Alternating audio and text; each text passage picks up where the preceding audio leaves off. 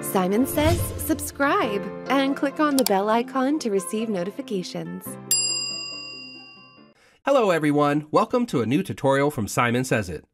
In this video, I will show you how to track changes in MS Word. Imagine you're writing an article or preparing a report for your organization. It may involve some of your teammates, reviewers, and editors to work on them. At the end of the day, you will have a document completely altered from your original script. In such a case, how will you observe what changes have been made and who made those changes? In Word, you can easily track the changes made by you or others. As the document owner, you can also accept or reject the changes made by others. To do this, you need to first turn on the Track Changes feature.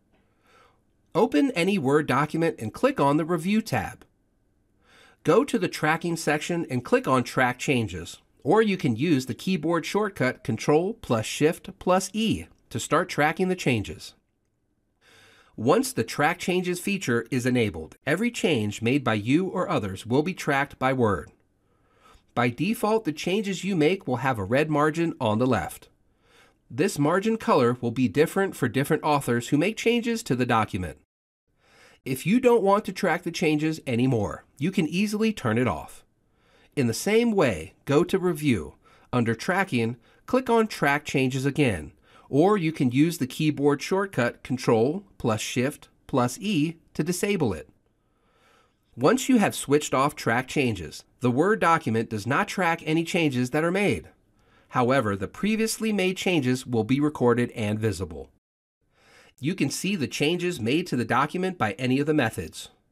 Some users prefer to add comments to indicate changes made in a document. To add comments to the document, select the text you want to add a comment on and click Add Comments. Now type in the comment inside the comments box. Another way to see the changes is by using the markup dropdown. There are four ways to see the changes made to the document by selecting any one of the options from the markup dropdown. The simple markup points out the changes made with a red margin towards the left side of the document. However, it does not give much detail about the changes. All markup gives a detailed description of the changes. It shows all the changes made, including comments and other details like font style and size. No markup simply displays the latest version with all the changes incorporated into the document. The original markup shows the original format of the document before the Track Changes features was switched on and changes were made.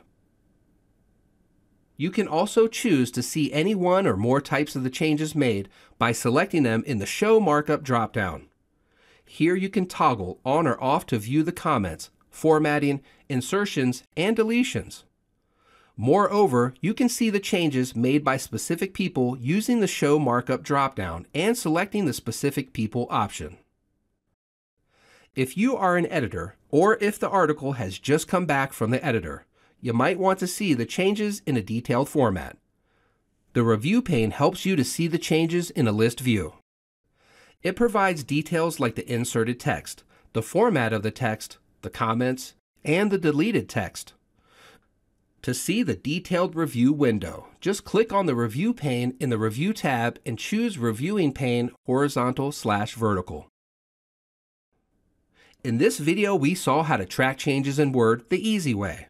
When you share your documents with others, tracking changes provides a foolproof method to avoid inadvertent errors. We hope you found this helpful. Please feel free to leave your questions in the comments section below. We are always happy to help. Thank you. If you're not a subscriber, click down below to subscribe so you get notified about similar videos we upload. To see the full blog article that this video came from, please click over there. And click over there to see more videos from Simon Sez IT.